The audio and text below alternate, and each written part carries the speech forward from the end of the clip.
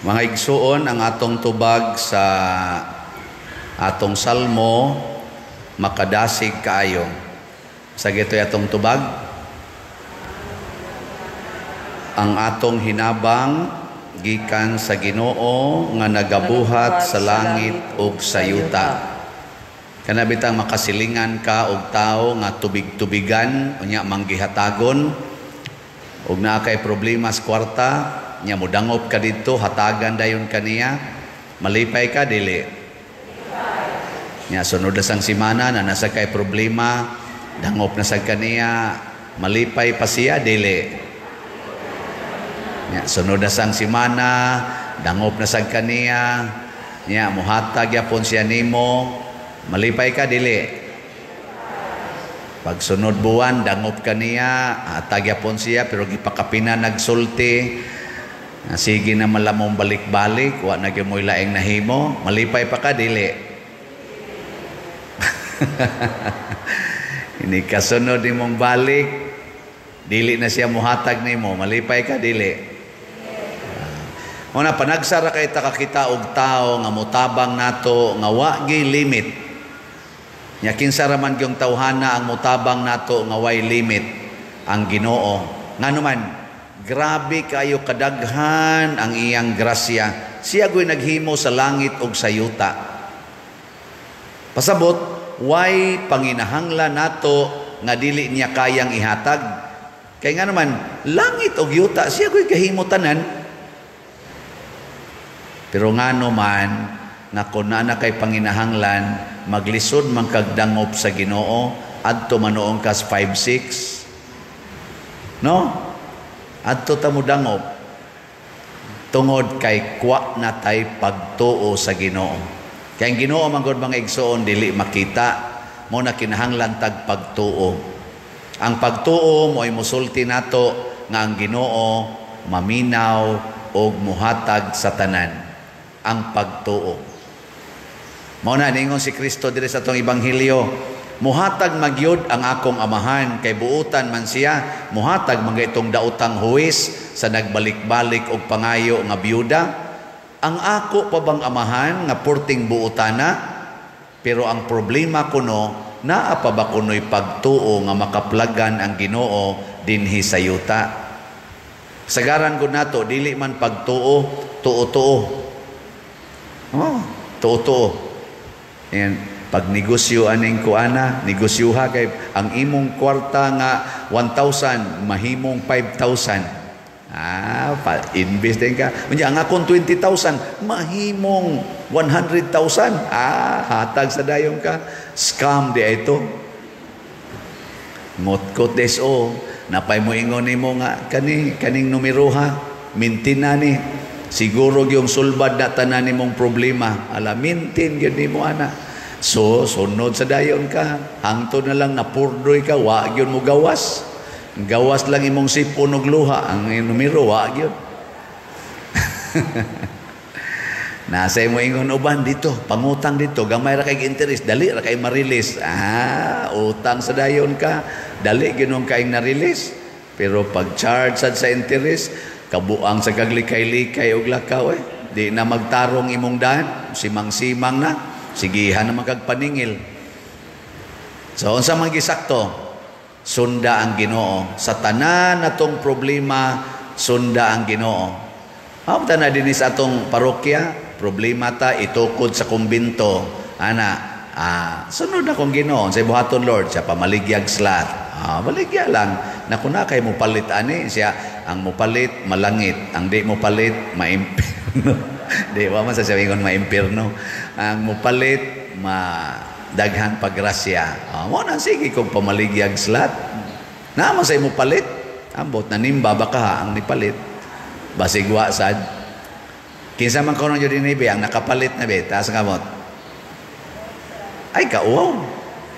Na tanawa di ba? Lima ra ka buok nga kamo ding uban, di, di mo mapalit diya eh. Uh, naatay tag 1,000 nga slots, nga dopes para sa atong kumbinto. Kuan para ba atong nahalin ani? 8,563 ka slots. Nagkinahanglan tag labing minus 15,000 ka slots. O na ta makasugod og tukod. Uh, pabalit na mo karon sugod hangtod karon katapusan aning buwana haron next week uh, next month sugod na ta diha sa atong kuan pagtukod sa kumbinto o para bagitay kumbinto din he? Kanay na ana ba? Nito man ko ako gini sigig baligya. Kay hibaw jud kong duna gini mo palit ani? Nito bitaw ta nga kini atong simbahan ato ning ma-repair o ngatong gasto ani karon das mga yuta. Murag na ana sa mga dool-dool na 70 million. Na nanggawas man. Slat-slat ra man ninyo. Kay na ay pagtuo. Ah, relax ra sad ana kamusad mo tuo sad mo nga inighatag ninyo bisag unsa ibalik ninyo gatusan kapilo o di hatag dayon ayaw pagsigtigom kay way way pilo-piloon ang Ginoo. Muna sa atong una ato ikaduhang pagbasa gibutang dinhi ni San Pablo nga ang pulong sa Ginoo nga gisuwat sa balaang kasulatan magamit sa pagtudlo, sa pagbadlong, sa pag sa pato? Wa man hinuon ko din. Pagtudlo sa kamatuoran, pagbadlong, pagsaway o pagtudlo unsaon pagkinabuhi nga makapalangit pulong sa Ginoo Nya ang pulong sa Ginoo mga igsoon na ay sinuwat na asay gipamalandungan. Kana bang gipaambit sama aning wali.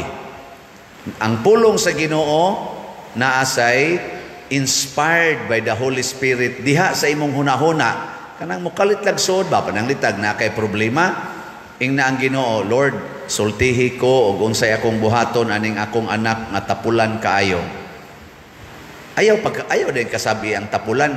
Pangutan ang Ginoo ba? Lord, unsaon ni nako ang tapulan kong anak. Nya mo lamdag din Ginoo nimo, lungagi la nagdaghan kay dako ra nagkaon. Kay kanang tapulan dagko kay nagkaon. Nya ayaw gid nagsugua kay makonsumisyon ra ka kay di gid na mosunod gahi kay nasugoon alagari na lang na haron malipayon siya, malipayon sagka. Nya moingon din ka, sunod din ka mahal nga birhen, matuman ang imong pagbuot. Ah, di ba? O, alaga din ka sa imong anak. Unsa may mahitabo? Wa gyud kay kasuko. Ang imo sang anak, wa say kaguol. So kamong pamilya, way gubot, dili saba, dili hasol ang kinabuhi, di ba? Nya mo na inyong gibuhat sa inyong balay. Uy, yaw-yaw to the max, siging balik-balik, kada adlaw, siging yaw-yaw. Mayingon lang ng mga anak, murag yung plakang guba. Nya kamo sang mga anak, o ang inyo sang ginikanan, yaw-yawan kayo, ay san mo pagkusmod-kusmod sa inyong naong. Pangutan na sang ginoo, ginoo, unsa may akong buhaton aning mga animal kong ginikanan. Ana. Mayingon din ginoo, bisan gani ka ng animal, pwede man na nimo hapyod-hapyoron ang agtang kanang iro kanang baboy kanang kuan. Siya unya usawa man nako siya hapyod-hapyora ang agtang sa imong mama ug papa para maulian anang yaw-yaw. Ay imo din paraygan guwapa gini akong mama oy. Ana ingo din imong mama hilog mo kabuanga karon yaw-yaw ka diha. Ay imo yung hapyod-hapyoron paraygan oy madugay na imong mama mo gakos-gakos na nimo oh ingo din gay ta 20 be ah atag dayon na Wa pay hasol, wa pay daghang yaw-yaw. Oh, ana, hapyo-hapyo ra.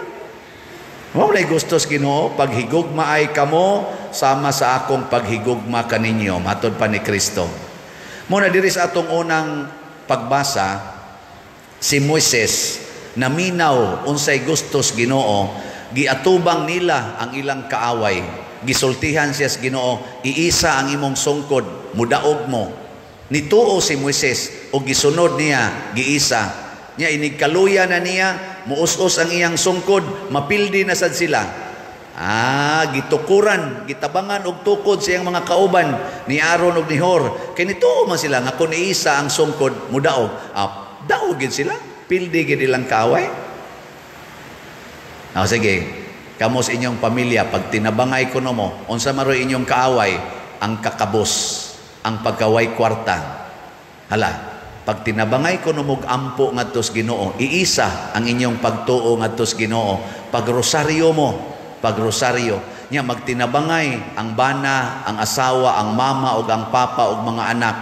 dili magwalda sa kwarta, dili mag-inom anang way klarong, di magsugal, dili magsigig duwa anang computer, magtinabangay og tigom sa kwarta, unya magtinabangay trabaho, magtinabangay og ampo, malambuon kaayo, mapildi nimo ang kaaway na kanang gitawag nato krisis sa kinabuhi. Sayawa man guna mga igsoon kining krisis ug magtinabangay lang gyud ta, wa gyud krisis. Pero mag-iyahay na gaita, sama anang gubat ron sa Russia o sa Ukraine, iyahay lang sila kinsay makaunag patay, mo krisis gyud, no?